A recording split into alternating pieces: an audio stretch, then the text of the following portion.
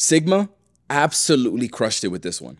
I did not think I was going to be this impressed with the new Sigma 50 millimeter 1.2 art. Now, I've personally compared the 50 1.2s from all the brands, some Sony, Canon, and Nikon. When it comes to image quality, they were almost all identical. The images looked so similar that finding any noticeable difference required me to zoom in at least 100%, I mean, ultra pixel peeping into the photos to find something different, right? It was so tedious. I would say that the thing that really stood out to me if anything, was how much larger the Nikon 51.2 was over the Sony and the Canon. But at the same time, the Nikon was also the best lens for video, in my opinion, because of how well it controlled focus breathing. So with this larger size, you do get a much more well uh, a much more well-rounded lens for both photo and video. Sony, on the other hand, it looks like they pushed physics to the limit with making the smallest, or at the time, the smallest 51.2. It did rely on the focus breathing compensation feature that you can find in most of the newer cameras, right? The focus breathing wasn't terrible, but it was very noticeable. This is why I'm so impressed with the Sigma. They were able to make a lens slightly smaller than the Sony that has nearly zero focusing breathing. This now means that you can throw this lens on an older camera body like what I'm shooting with right now, the Sony a7S III, and not have to worry about focus breathing or not having the focus breathing compensation to kind of make up for that. So that's a that's a one of the things that really stood out to me. All right, when we're talking about bokeh, okay, so Sigma has also done something that none of the other brands have done, with their 50 millimeter 1.2, and that is include 13 aperture blades for what they call beautiful bokeh expressions. That's that's what it said on the on the briefing, you know, and that statement it's meaningless to me, right? But I will say, at least compared to the Sony, the bokeh is slightly cleaner, and you can see that in some of the sample images that I took of myself.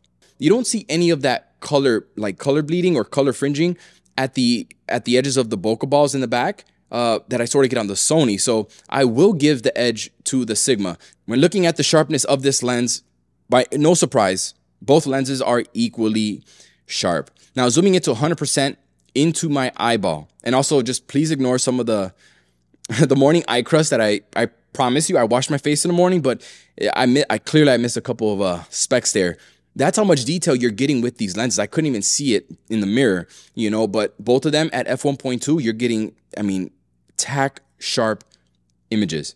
Okay. So in my eye, you can see the reflection of my studio very clearly. There just isn't much to say here. Um, I would say both shot wide open at f1.2 perform about the same. Uh, that's something that's not that's not going to be a reason to pick one over the other. That's that's probably the best way to say it. When it comes to autofocus, I've been very critical of previous Sigma lenses, like, for example, the 16 to 28, f2.8. But this one is probably one of the best focusing lenses that I've ever tested from them. Like, not only is it completely silent, I mean, I'm talking, you can put your ear in a quiet room, you can put your ear up to it, and you can barely hear it. Similar to the Sony, it's just quiet, you know?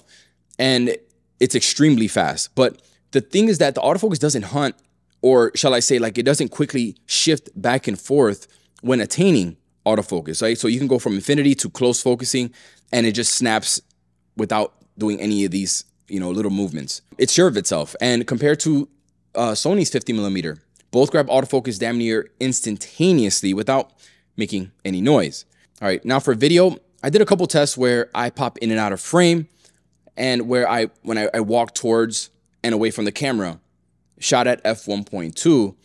And if I were to look at the clips, and if I did a blind test, right, with no knowledge of which was which, I truly would not be able to tell which was the Sony and which was the Sigma, which is obviously a compliment to the Sigma. Now, it wasn't perfect. Obviously, f1.2, I'm moving away. You can see both of the lenses are trying to catch up to me, but they both did I mean, as good a job as you can probably ever ask for with a lens shooting at this wide of an aperture.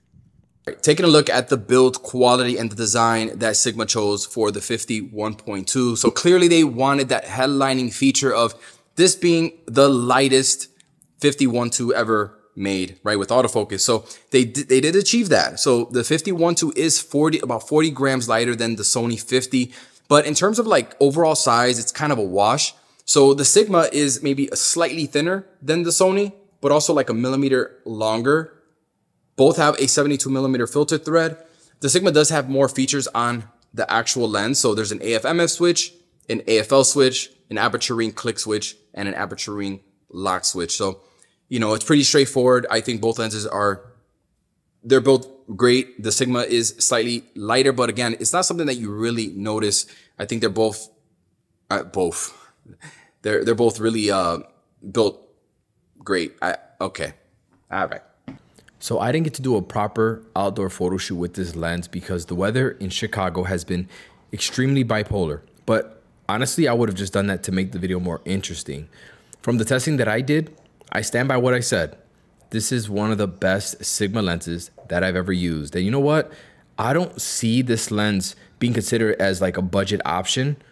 And the price reflects that as well. It's $1,400 compared to Sony's $1,900 GM.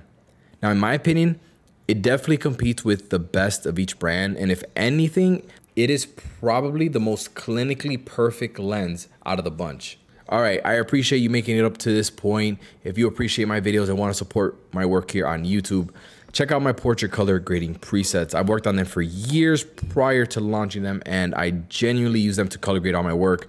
Link will be in the description. Okay, bye.